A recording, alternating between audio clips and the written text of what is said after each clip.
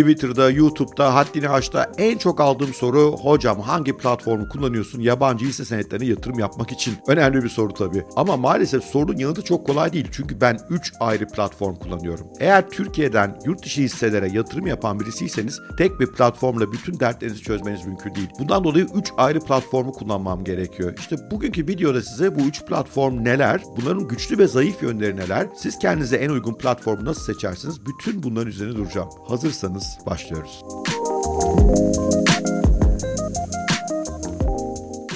Yatırımcıda ilk başladığımdan beri kullandığım büyük bir bankanın portföy şirketine ait bir platform var. Hisse senetlerimin pek çoğu burada. Neredeyse bütün Amerikan hisse senetleri orada var. Tabii ki son derece güvenli. Opsiyon işlemleri de yapabiliyorum. Para aktarmak bankadaki hesabına oraya kolayca oluyor. Geriye çekebiliyorum. Çok güçlü yönleri var. Tek sorun süper pahalı. İşlem yapmak oldukça yüksek maliyetli. Bu yüzden pek sık işlem yapmadığım uzun vadede tutacağım hisseler için orayı seviyorum. Bir de kişisel hizmet de alabiliyorum. Çünkü aynı zamanda benim ana bankamda olduğum olduğundan pek çok hizmette özelleşmiş, kişiselleşmiş hizmetler alabiliyorum. Bu yönleri çok seviyorum ama işlem yapmak son derece pahalı. O yüzden sık işlem yapmayacağım. Çok uzun vadede biriktirdiğim hisse senetlerimi burada tutuyorum ve son derece de beğeniyorum. Fakat zaman zaman daha kısa süre işlemler yapmak istiyorum ve bu maliyetler bana yüksek geliyor. İşte orada da ünlü bir Türk aplikasyonu var. Mobil bir aplikasyon. Pek çok tanıyorsunuz. Türkiye'den aslında yurt dışı hisselere yatırım yapma olanağını tanıyan ilk aplikasyon. Çok da beğeniyorum. Oldukça düşük maliyetlerle işlem başı 1,5 dolar gibi maliyet de burada Yabancı hisse senetleri alıp satabiliyorsunuz. Bazı ETF'ler var. Bu yön çok güçlü. Parçalı hisse alabiliyorsunuz. Bu yönü de çok beğeniyorum. Ama bunun da iki dezavantajı var benim gözümde. Bir sadece hisse senetleri var. Kripto yok. MTA yok. Oysa ben bunlara da yatırım yapıyorum zaman zaman. Bir diğer konuda sadece mobil bir aplikasyon ve üzerine bedava da değil. Ve şimdi gelelim üçüncü platforma. Quant Fury. QuantFury.com ismini benden bir süredir duyuyorsunuz. Bizim bir işbirliğimiz de var onlarla. Quant Fury'nin bu diğer iki platforma göre en büyük avantajları nedir derseniz aslında aslında 3 temel madde sayabilirim. Bunlardan birincisi sıfır ücret, sıfır komisyon. Hiçbir işlemden komisyon almıyorlar. Bu harika. Diyeceksiniz ki belki alsat arasındaki spreadlerden para kesiyorlardır. Hayır. Orada da fiyatları anlık olarak diğer bütün borsalarla karşılaştırıyorum. Hiçbir sorun yok. Bu nedenle son derece masrafsız bir platform.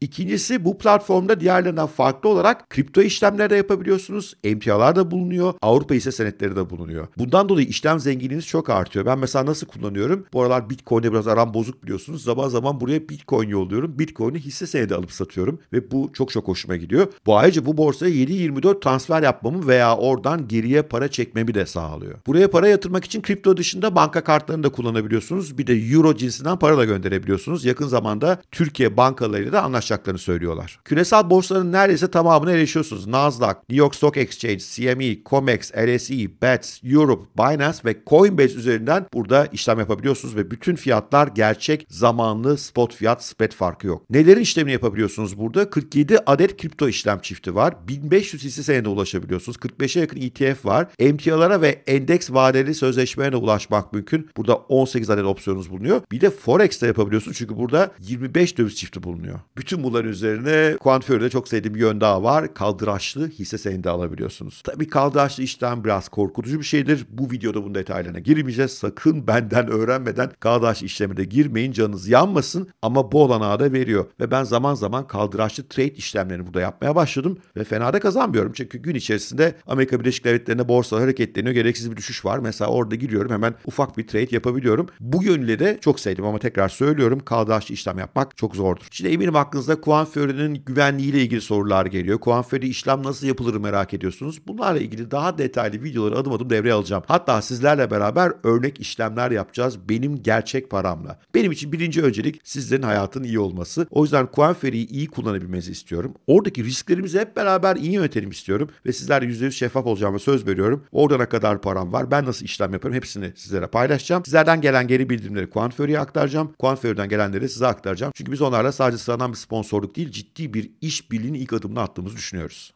Şimdi siz de Quantföre'ye katılmak istiyorsanız yukarıda ve aşağıda benim referans linkim var. Hemen onunla bağlanın. Hem bana da bir güzelliğiniz olmuş olur. Hem de şöyle bir hemhal olursunuz. Sakın büyük işlem yapmayın henüz. Küçük küçük aktarımlarda bulunun. Ben size orada nasıl işlem yaptığımı göstereceğim. Sizle beraber örnek trade'leri gerçekleştireceğiz. Evet, tekrar özetleyelim. 3 ayrı platform kullanıyorum. Bunlardan bir tanesi bankamın bana sunduğu platform. İkincisi Türkiye'nin meşhur yurt dışı hisselere yatırım yapma platformu. Üçüncüsü de Quantfury. Hepsinin kendine göre avantaj ve dezavantajları var ama eğer yurt dışı borsalarda işlem yapmak konusunda ciddiyseniz bence üçünden ayarlanmanız gerekiyor.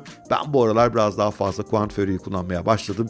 Nasıl kullandığımı da önümüzdeki günlerde videolarda size anlatacağım. Soru ve yorumlarınız varsa lütfen aşağıya getirin. Görüşmek üzere. Sevgiyle kalın, hoşçakalın.